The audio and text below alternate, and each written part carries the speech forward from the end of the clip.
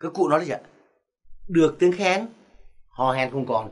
Một đống tiền công không bằng một đồng tiền thưởng. Ồ. Đấy nhà nước mình còn gì ạ? Hội đồng khen thưởng quốc gia. Đấy, khen. Trẻ con lớn lên là gì ạ? Như được khen. Nào em bước rồi ai bạn? Oán đâu em oán đâu em. Đấy nếu mà mình cứ mắng bước thế à? Đi thế à? Con người ta chạy được. Mai còn chưa đi xong có đứng xong. Thì không bao giờ con phải biết đi cả khen rất quan trọng. Nói ma đấy cả nhà ơi nó gọi má đó này. Ma mà mình nó gọi má. Má nó con nó rõ con ma má ba ba. Bà thì con bà đẻ ra má đấy bà đẻ ra ba đấy. Bà thì con liên tục khen cái gì cũng khen cả. Ta lớn lên nhờ tiếng khen đấy. Bài học nghệ thuật khen phải liên tục khen thưởng. À, trong cái nhu cầu của con người theo Maslow có năm bậc. Thứ nhất là gì ạ? Là sinh lý hít thở thứ hai là an toàn thứ ba là quan hệ xã hội. Thứ tư là gì ạ? Khen thưởng. Và thứ năm là từ thể hiện. Bậc bốn là bậc gần như sát đỉnh của nhu cầu con người là được khen. Đấy. và nhắc lại ạ, được tiếng khen hỏi hẹn không còn. Người ta mua cái nhà làm để gì ạ? Để được khen. Người ta mua ô tô gì ạ? Để được khen. Người ta chạy chức chạy quyền làm gì ạ? Để được khen. Người ta mua cái chứng chỉ làm gì ạ? Được khen. Bây giờ là có bệnh là mua bằng khen nữa. đấy, mua ra nhiều anh hùng nữa. Ghê không ạ? Thì để thấy, tôi không nói là tốt hay xấu nhưng mà tôi thấy sức mạnh của lời khen và phải học khen. Đấy. Và một cái lý do tại sao nước mình dạo này kinh tế xuống ạ, vì nặng về chê. Hồi à, tôi nhớ là thời à, bác hồ đấy, thời đánh mỹ đấy báo đài thì bao giờ cũng có khen. Ngày nào cũng thế, huy hiệu tặng, bác hồ tặng, người tốt được tốt trang nhất là bao giờ cũng khen. Còn bây giờ là đọc báo với nghe đài là rất sợ là gì ạ? Cướp giết hiếp hiếp giết cướp.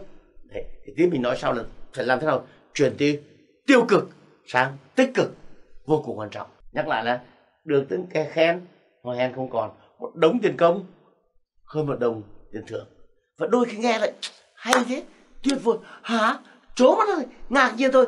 Đấy cũng là một lời khen. Chúng ta đừng có nghĩ là khen về gì ghê gớm. Đừng có tiếc là tuyệt vời hay quá. Hay thế eo ơi thích nhở? Ừ sướng thế. Mình sướng thôi chứ không cần nói là anh nói hay quá. Em hay thế. Ôi sướng quá em sướng quá. Thì là được rồi. Đấy nhắc lại liên tục khen liên tục khen. Thì nhắc lại vậy mục đích cuối cùng của mọi mục đích là gì mục đích cuối cùng của mọi mục đích ngay cả trong giao tiếp là gì là làm người khác sướng. Thì mình khen thì đã đạt được một mục đích rất đơn giản này, là làm người ta sướng. Đã đạt đến mục đích cuối cùng của giao tiếp rồi. Làm người khác sướng làm đối tác sướng. Đơn giản để ta hiểu thêm cái này thôi tại sao? Khi bán ô tô, lại có PG khi bán bia, cũng có PG ạ. Vâng khi thấy chân dài sao? Các đại gia sướng. Và nó tiết hormone sướng sao? Người ta sướng luôn. Cái xe, khi thấy chân dài tiết hormone sướng sướng chân dài, người ta sướng luôn. Bia. Vì vậy, khi mình giao tiếp rồi người ta sướng mình, người ta sướng luôn nội dung mình nói nhắc lại có hai loại hormone thôi, hormone sướng và hormone sợ, để mình dễ hiểu thôi. Nói một cách đơn giản thì ta dễ hiểu. Tất nhiên còn chất này, chất kia nó phức tạp lắm. Đấy, thì bạn nhớ là liên tục phải khen, liên tục phải khen. Con ít lớn nhanh, trẻ con lớn nhanh, trẻ em lớn nhanh vì sao nhờ khen nhiều.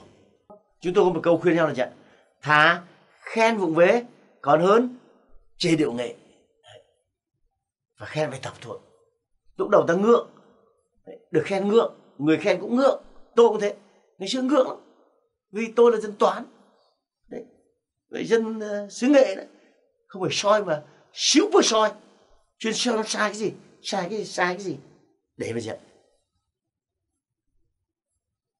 tranh chết. Để sinh tồn. Bậc hai là an toàn đấy. Nhưng mà nếu như thế thì không bao giờ tiến bộ được. Đơn giản đấy nó luôn các bạn tôi đang quay thêm anh đạo diễn kia nhắc tôi thầy ơi lại dính tiếng rồi thầy ơi lại dính tiếng rồi thầy ơi lại dính tiếng rồi tất nhiên tôi đã có dính đấy. Nhưng mà lúc nào thì soi tôi dính thì tôi không còn mặt mũi tôi diễn tôi bảo im đi để tao diễn đấy rồi tí cho nó dính thì mới bảo tao sửa. Chứ thế thầy dính trước thầy dính trước thầy dính trước thầy dính trước thì băm nát phim đấy băm nát ảnh ra tôi không thể diễn được. Phải chấp nhận một số cái. Ôi thầy nhiệt tình quá thầy tuyệt vời cả thầy sửa cho con tí tí chỗ này nhá. Tí thôi thì tôi còn làm được. Tôi vừa chưa thầy ấy dính nữa. Thầy ấy dính nữa. Không thể làm nổi. Đấy, nhớ chưa? Phải chấp nhận cái này chấp nhận nhưng mà lấy khen làm chủ đạo lấy khen làm chính. Lấy phát triển làm chính. Giống nước ta là trận. Không ai đa kẻ thù nào xâm lộng, lược nổi nước ta cả. Vì người Việt Nam phòng thủ rất tốt. Thấy cái xấu. Rất nhanh. Nhưng mà chưa sướng với cái, chưa vui với cái sướng với cái phát triển, sướng với cái lớn. Là chưa biết sướng mà sẵn sàng chịu khổ, sẵn sàng vượt qua khó khăn và thấy cái xấu rất nhanh.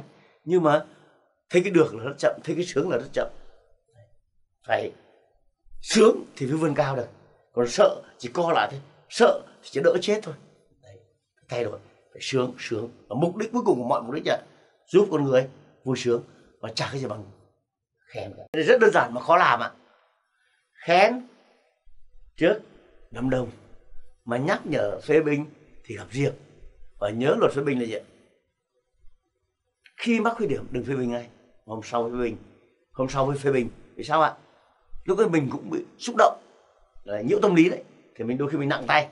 Hoặc là chống lại cái bị phê bình ấy, thì cũng không nên, nên ngay lúc ấy. Mà để hôm sau vì lúc là nhiễu tâm lý cho nên mình chống lại một cách à, quá nặng nề quá nguy hiểm. Và đôi khi còn bỏ việc bỏ nhau vì những chuyện là không biết. Đấy. Lâu nay chúng ta thường thường là chuyện chế hả hê? Khen thì vụng về. Thì bây giờ ngược lại là chuyện khen, thành thô cân mạnh. Còn chê thì nhẹ đi. Thì thay đổi cuộc sống. Nhắc lại là khen, thành thô cân mạnh. Còn chê thì nhẹ nhàng đi.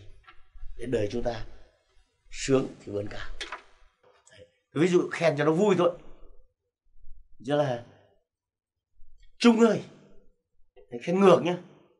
Khen cho nó vui mẹ cái thằng hùng ấy, nó bảo mày là hơi giỏi. Tao nghĩ mày là vô cùng giỏi. Đấy. Thấy mà, mình phải đôi khi dìm xuống để tăng lên. Đấy. Hoặc là khen là chuyện, trang à có hoa thơm mà không đẹp.